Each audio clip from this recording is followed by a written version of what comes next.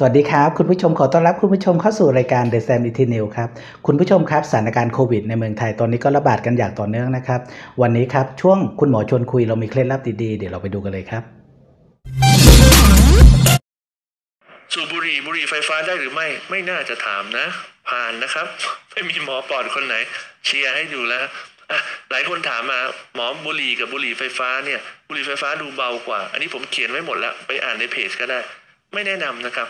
ปอดกำลังพังกำลังฟื้น เราไปเอาควันเข้าไป ยิ่งไปกระตุ้น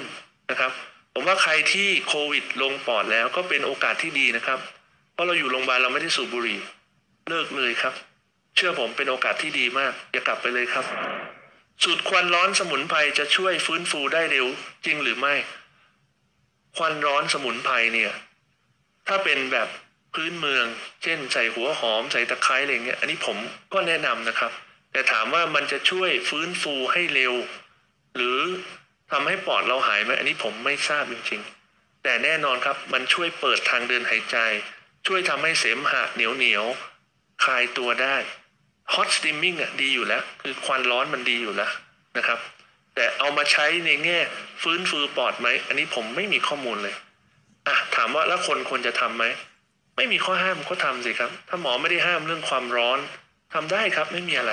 อาการที่ต้องกลับไปพบแพทย์ก็ส่วนใหญ่ที่เราจะแนะนำก็คือกลับไป ระหว่างกินยาถ้าสมมติเรากลับมามีอาการไอมากขึ้น หอบเหนื่อยมากขึ้น หรือวัดออกซิเจนที่บ้านเนี่ยมันเริ่มต่ำลง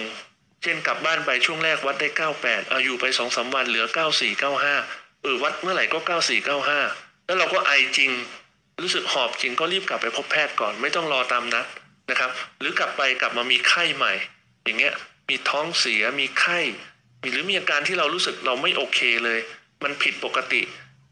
กับช่วงที่เรานอนโรงพยาบาลก็กลับไปพบแพทย์ได้นะครับ อย่ารอให้หอบเหนื่อยมากๆ แล้วค่อยไปนะครับนะช่วงนี้เป็นช่วงที่ร่างกายกำลังหาจุดสมดุลอยู่ มันก็มีอาการจุกจิกได้